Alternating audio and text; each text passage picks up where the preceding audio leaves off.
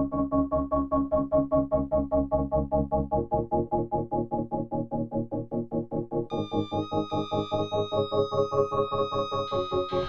today we're going to test out how pressure expands on gas. If it needs somewhere to go, it's going to find a way. AKA, we're going to fill up this bottle with so much pressure that it's going to find an escape. It's not Boyle's Law, because, well actually, it kind of is. Not worried about it. Okay, this is going to be amazing.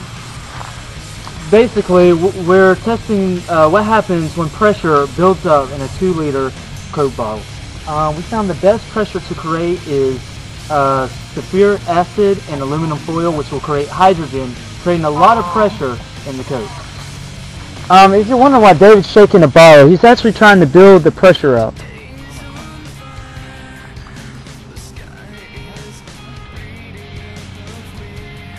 My foot, my foot, Getting ready. Oh boy. It's expanding very slowly. That's not It's gonna happen anytime.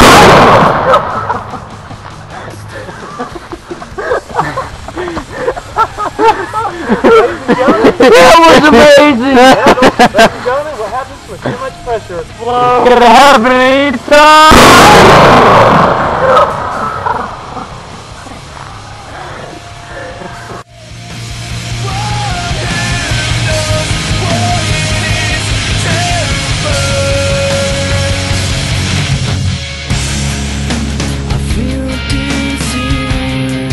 It's gonna happen anytime.